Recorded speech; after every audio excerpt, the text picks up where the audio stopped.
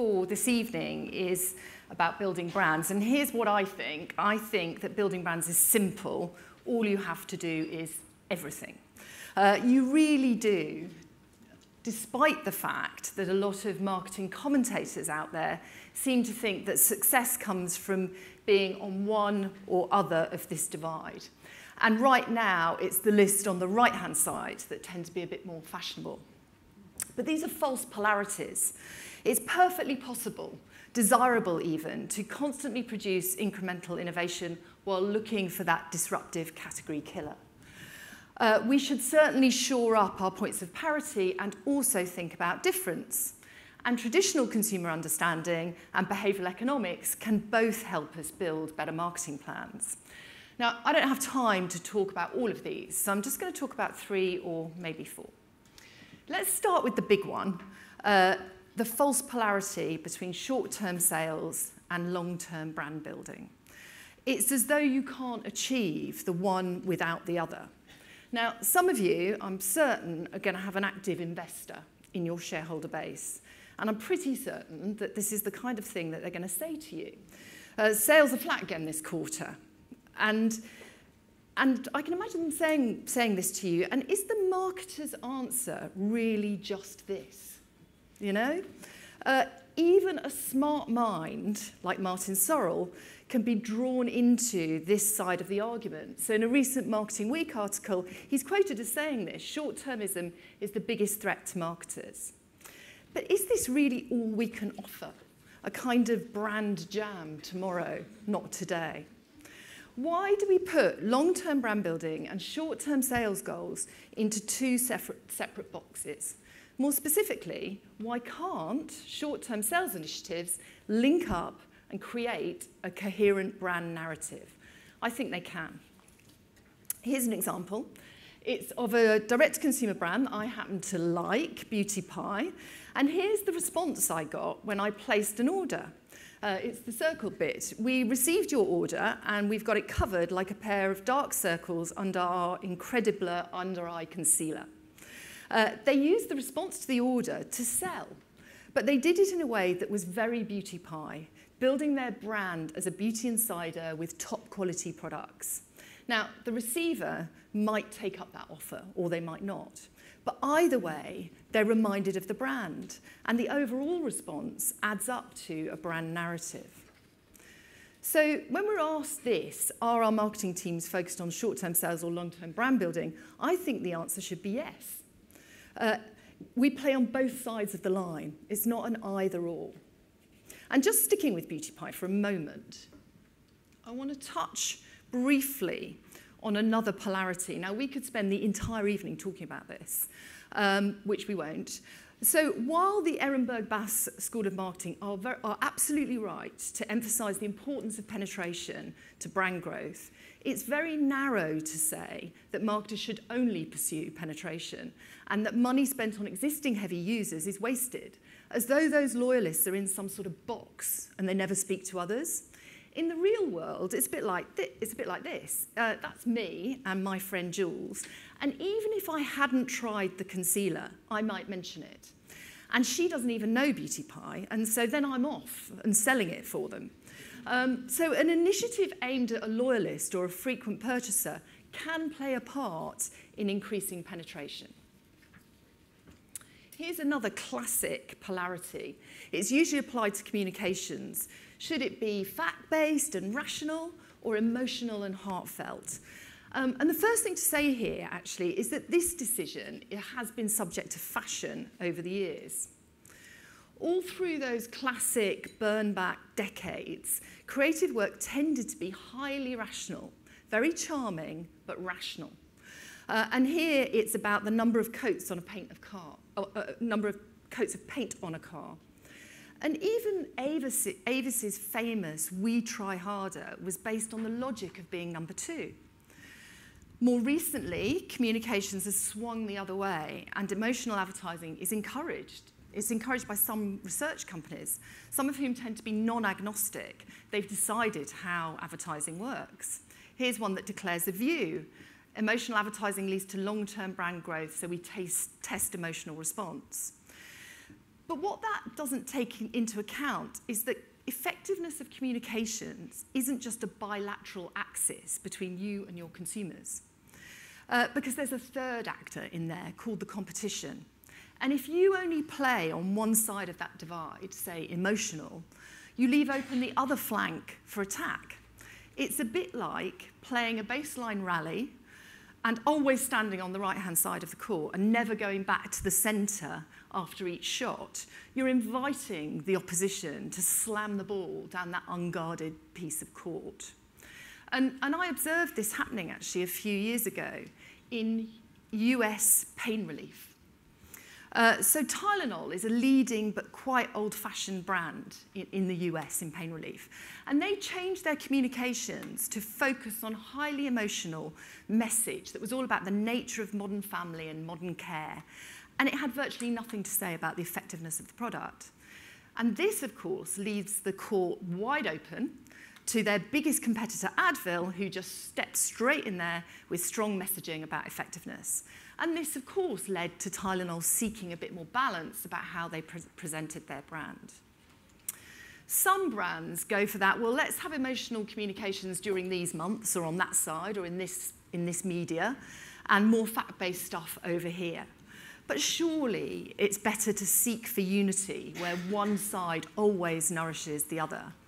And I think the way to approach this, as is often the case, is to start with the consumer.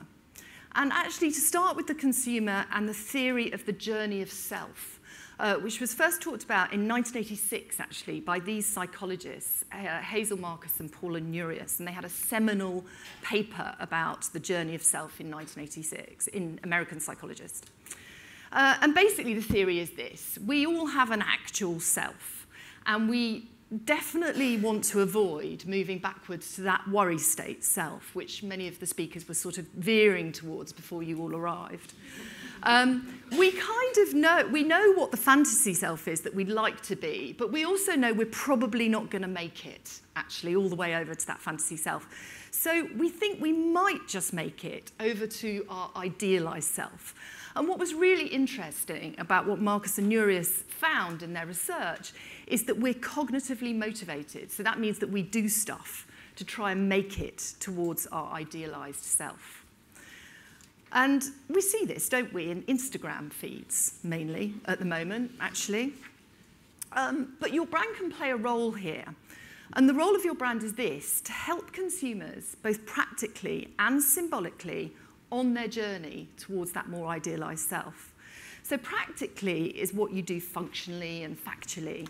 And symbolically is the, is the values, is the brand that you put around it. A really good example of this that I saw recently when I was judging for the IPA Effectiveness Awards is Yorkshire Tea. Uh, and their whole brand is about where everything is done proper. But, but it got people to reevaluate the quality of the tea that they drink. A very functional message about better quality tea, but it appealed at a symbolic level to people who like to do things properly. And, and then they, they kind of reinforced that through some incredibly charming advertising using, for example, the Brownlee brothers as cycle couriers at Yorkshire Tea, because Yorkshire Tea would only want to do things the very best way. So they locked together their functional difference with a, with a, with a message that was about the idealized self. Third up is the rise of direct-to-consumer brands and the threat that they pose. And the narrative seems to kind of go, should we fight them or should we join them? Well, you have to fight anyone who's taking your share, but you don't have to emulate their business model. It might be worth emulating some of the characteristics that these brands have picked up, which I think is quite interesting. And here's one of them, suppleness of thought. Direct-to-consumer wasn't a new way of doing business. What they have done is look at a classic business model and made it relevant for today's digital connectivity. And the classic business model is this. It's the lemonade stand. One product, very narrow focus, indivisibility between producer, retail, and customer service. And it's exactly what these guys have done. Away just does luggage, Glossier just does beauty, Goby just does toothbrushes. And I think for the trick for marketers is to look at other categories, look outside your category, look at other categories, and ask if what they're doing could be applied to yours. So suppleness of thought about what's going on. The second thing to emulate, to emulate might be their fantastic consumer intimacy. So the kind of poster boy of direct to consumer is Andy Dunn. And he highlights, I think, what ought to be obvious to marketers. Uh, you know, a, a, a huge focus on, on customer experience and its physical products and strong service experience at the same time. Now, this ought to be obvious to most marketers, but sometimes we lose focus on that co consumer intimacy and what we can do to drive it. One more to finish, and it's a bit different because communication and brand gurus tend to draw these two things together. Most notably, Jim Stengel in Grow, who attempted to show that if you have purpose, you have profit. Now, I don't buy that. Uh, it can happen, but it's not guaranteed and it's not causal. But if you do have a declared social purpose, when the chips are down, you have to prioritise it, and it could cost you. Uh, in a recent Marketing Week column, I talk about a particular example from the US. It's this one, CVS. It's the US's biggest pharmacy, and in 2014, they changed their name to CVS Health because they kind of gone through a process about what they were really in business for, and they defined their purpose as to help people on their path to a better health. And here's what happened next. Norman de Greve, the CMO, after a lot of internal battles, pushed through a big change, which was to stop selling cigarettes and tobacco. Now, I know this is a bit weird for a pharmacy anyway, to be selling cigarettes and tobacco, but it was the category norm, I promise you, and all five competitors did it and still do. But de Greve saw the hypocrisy, actually, in the purpose and pushed it through, and in one year it cost them $2 billion. So purpose can cost you, actually. It's, there's not a direct link through to profit. Now, your business may not have a declared social purpose, but I would argue that all real properly nourished brands do have a social purpose, a deep one that takes us all the way back to the genesis of brands and how they came about in the first place. Because that dates back to a time when people were routinely cheated by shifting and unaccountable traders, when dirty practices were the norm. And actually, it's not that long ago. It was the late 19th century.